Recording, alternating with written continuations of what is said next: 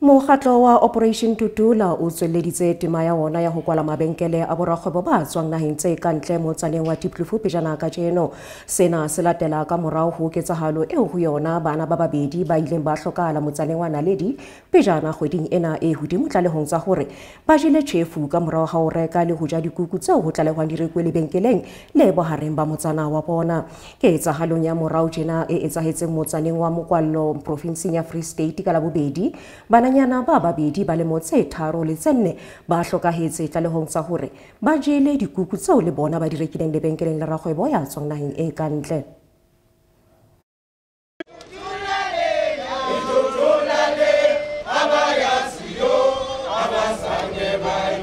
kube incane indawo kubaphathi bezitolo zabo ukufika kuleli diploof ngenkathi iqembu le-operation dudula liqhuba umkhankaso walo wokuxosha bokufika abaphethe izitolo zendawo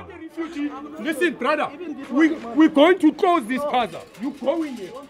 ngikhuluma kanje kunabantwana abashonile because of lama product lawa are poisonous which are called illicit product that are not fit for consumable so iba yinkinga kakhulu so we, we decided as umphakathi citizen yale country ne-operation dudula as operation dudula partnership with nema communities as patriotic movement to say we're going to continue and inspect zonke le-phaza shop ezi-ownwa ama-pakistani ethiopians or any foreign nationals that are operating illegal and ngizokuchaza why i'm saying they are illegal to actually own spaza shop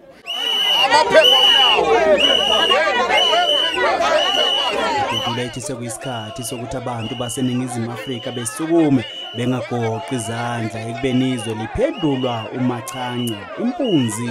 edlemini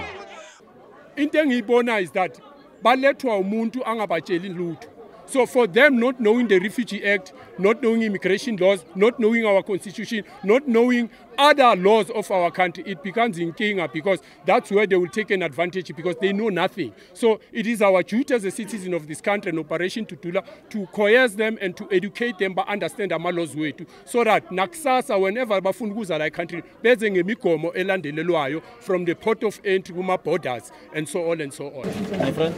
Sure. What's the bill? Actually, I didn't know anything in this one. I don't know this one. Umphathi womuzi ohlaselwe idudula ube nombono wehlukile ngalolu daba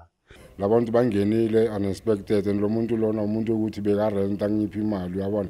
And khona manje sebamvalisile isitolo angazi ukuthi le income leyo akumele anginike yona uzonginika ngoba nazi i-25 zilana and isitolo sesivaliwe imali yakhona ngizoyithola kuphi? Uthi kuyakhathaza ngoba uma i-operation dudula ingene emzini umuntu ayikhipha amaphepha ayigunyazayo ukuzohlola nokuphenya okwenzakalayo. Wathi uma izwe ligunyaza abantu abangenazi impepho ukungena kulo yena kanamandla okuvimba umuntu ozoqasha emzini wakhe. Ezindabeni zesoweto tv